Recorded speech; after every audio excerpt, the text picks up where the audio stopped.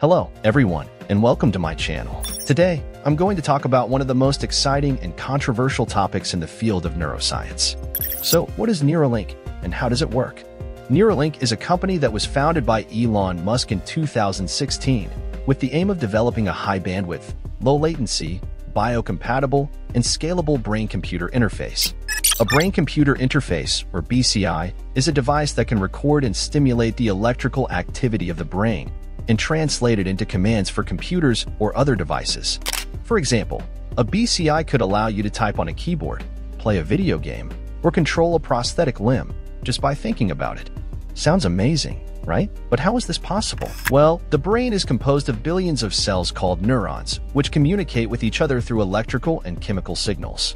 These signals form patterns that encode information, such as sensory inputs, memories, emotions, and intentions. By recording these patterns, a BCI can decode what the brain is perceiving, remembering, feeling, or planning. And by stimulating these patterns, a BCI can also influence what the brain experiences, learns, or does.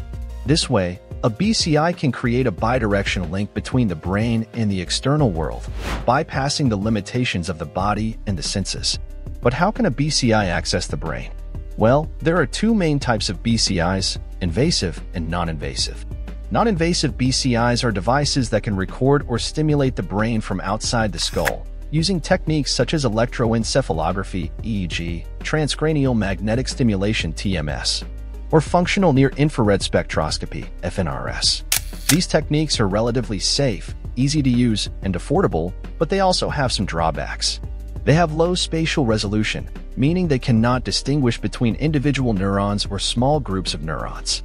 They also have low temporal resolution, meaning they cannot capture the fast changes in brain activity. And they are susceptible to noise and interference from the environment, the scalp, or the skull. These limitations make non-invasive BCIs less accurate, reliable, and efficient than invasive BCIs. Invasive BCIs are devices that can record or stimulate the brain from inside the skull, using techniques such as microelectrode arrays, optogenetics, or ultrasound. They have high spatial resolution, meaning they can target specific neurons or brain regions. They also have high temporal resolution, meaning they can track the rapid fluctuations in brain activity. And they are less affected by noise and interference from the outside. These features make invasive BCIs more precise, robust, and powerful than non-invasive BCIs. Neuralink is developing an invasive BCI based on a technology called the Neuralink Link. The Link is a coin-sized device that contains a custom-designed chip, a battery, a wireless transmitter, and more than a thousand electrodes. The electrodes are connected to ultra-thin and flexible threads, which are thinner than a human hair and can be inserted into the brain tissue with minimal damage. The threads can record and stimulate the activity of thousands of neurons simultaneously across different brain regions and layers. The chip can process and compress the data and transmit it wirelessly to a smartphone app or another device. The battery can be charged wirelessly, and the device can be implanted under the scalp, making it invisible and comfortable.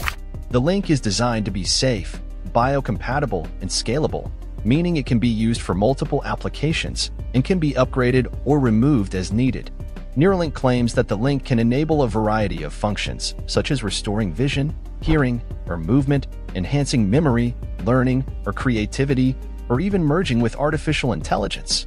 Neuralink also claims that the link can be implanted in humans with a simple and painless procedure performed by a robotic surgeon in less than an hour without general anesthesia, and that it can be used to control computer cursors, video games, or prosthetic limbs just by thinking. The company has also shown that its device can be implanted and removed safely, and that it can last for months or years without causing infections, inflammation, or rejection. And now, Neuralink has announced that it has successfully implanted its first chip in a human brain. The announcement was made by Elon Musk himself on his social media platform X, formerly known as Twitter. Musk said that the first human received the implant on Sunday, January 28, 2024, and that the initial results show promising neuron spike detection, meaning that the device can pick up the signals from the brain cells. This is a huge milestone for Neuralink and for the field of brain-computer interfaces. It is the first time that a wireless, high-bandwidth, and scalable BCI has been implanted in a human brain, and it opens the door for a new era of human-machine interaction. But it also raises a lot of questions and challenges, both scientific and ethical. How well will the device work in humans? How long will it last? How will it affect the brain function and structure?